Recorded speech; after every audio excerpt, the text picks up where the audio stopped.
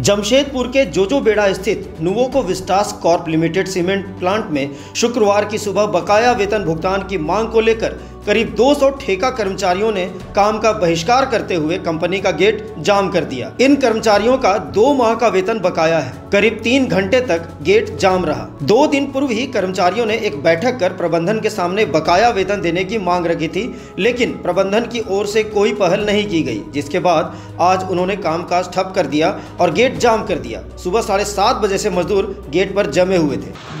ठेका कर्मियों का। पिछले कई दिनों से समस्या चल रही है। समस्या का समाधान नहीं होने पे आज यूको सीमेंट गेट जाम किया गया है। जब तक समस्या का समाधान नहीं होगा सूचना मिलने पर वहाँ पहुँचे मजदूर नेता चंदन पांडे ने प्लांट के प्रबंधन से वार्ता की।